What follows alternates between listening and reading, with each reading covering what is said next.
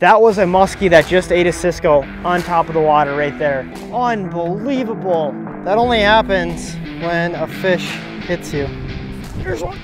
Oh, there we go. Let's go. Let's get another one.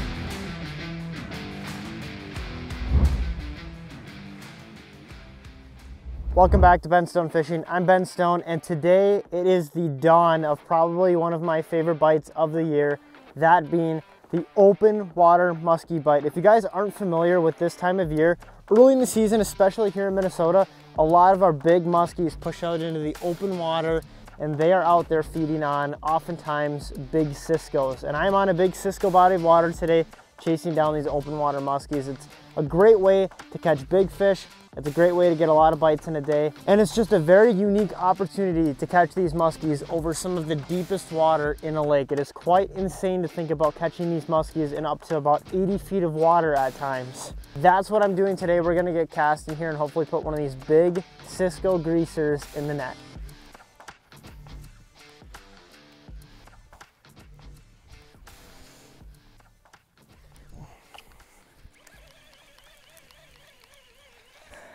That's a muskie right on a ball of Cisco's right there. Let's see if we can get that fish.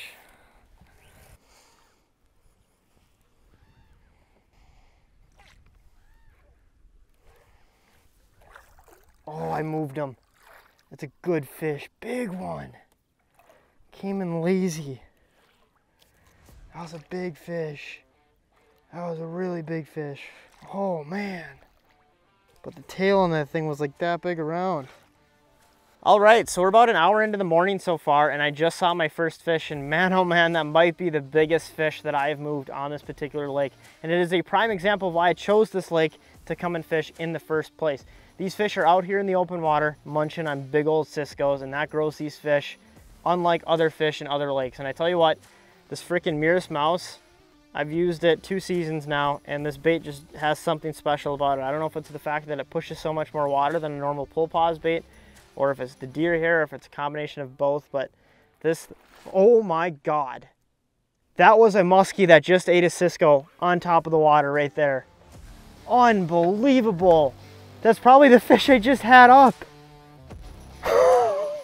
okay, that's a sign I gotta get back to casting. Holy cow. I'm ready. I'm ready, let's get that first bite. Wind just picked up a little bit. I like that. That makes me feel a little bit more confident that a fish is gonna bite. Look at that chunk of Cisco's. Oh my God, the bait is absolutely piled in here. There's Oh, there we go. Wow. Oh man, what a freaking hit. Oh. I knew it. I knew we were gonna get freaking bit. Man, feels like a good fish. Oh man, feels like a really good fish.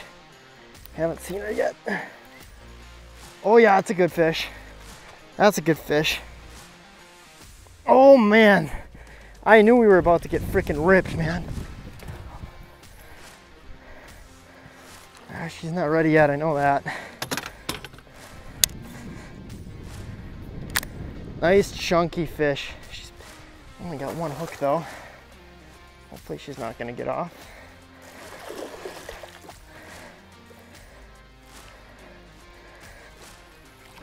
Yeah. Oh man, what a freaking bite. Forgot what that felt like after such a long winter.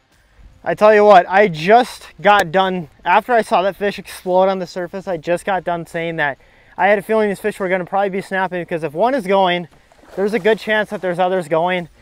It's been a long winter. I forgot how good that bite in open water felt. Absolutely rocked.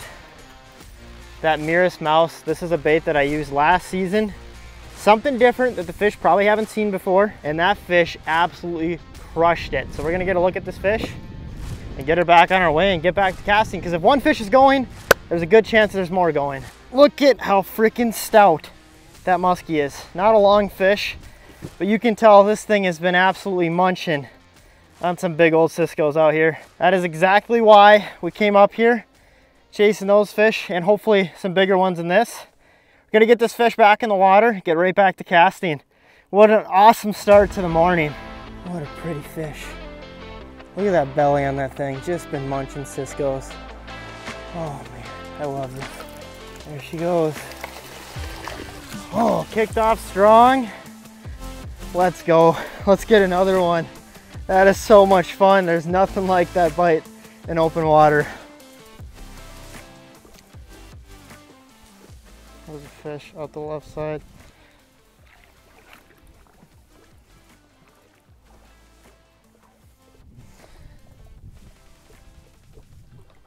Oh my God, it's right there. Coming back.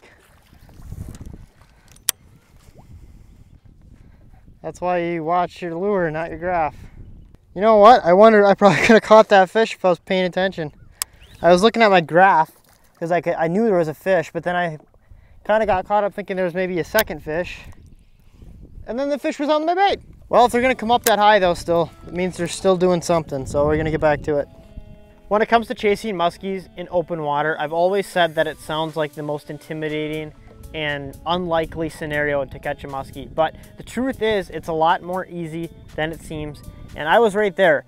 Uh, when I found out this is a thing, I didn't really believe people.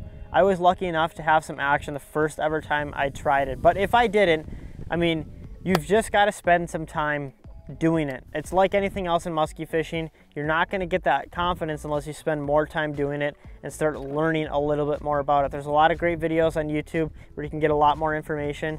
Um, maybe start on a smaller lake and just build that confidence up before you want to go and try it on something big. But you're really just wanting to find that suspended bait fish. And once you find that suspended bait fish, just keep track of where it is because a lot of the times those muskies are in the area. You might not mark them on the bait, but chances are there are fish in that area. This, this has become one of my absolute favorite ways to catch muskies. I've had some of the most incredible feeding windows that I've experienced muskie fishing. And that's the great thing about this bite is these fish are out here to eat and do nothing else but eat. So a lot of the times when those fish turn on, you can get on some pretty incredible biting windows. So I could be missing out on them right now. So I'm gonna get back to casting, but just get out there, throw some casts in the open water, and I promise you eventually you're gonna get onto something.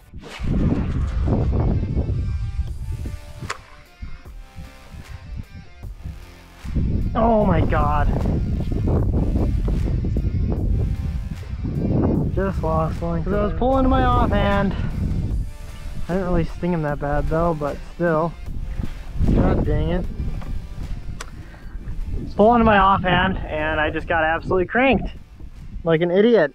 That's why you always pull on your dominant side. Because the second you don't, that happens.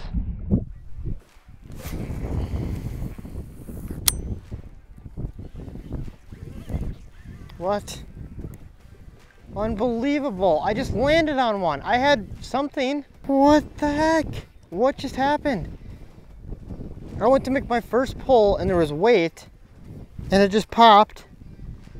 And then my hand just fell off the reel because there was more weight again. My bait's fouled. Did I just, yeah, oh my God, look at that. That only happens when a fish hits you. Unbelievable pulled the harness out and everything. That's the second lost fish or missed fish in a matter of minutes. Well, our major just ended and I had my chances. I had two chances, two bites pretty much back to back. And uh, the worst part is, is they were fixable mistakes that costed me those fish. So that's always a bummer. We had a great day though. Any day catch a muskie is a great day and I caught it on the, uh, the bait that I wanted to catch one on today. If you guys want to check out these Miuras mouses, I'll have the link for them in the description. If you guys like this content or you guys are a muskie angler, I would really appreciate it if you did subscribe to my channel. I'm going to be posting the rest of the summer the best muskie content that I can, but I've got a commercial shoot that I have to do tomorrow morning and I've got a three and a half hour drive. So I need to get on the road. I appreciate you all watching and I will see you in the next one.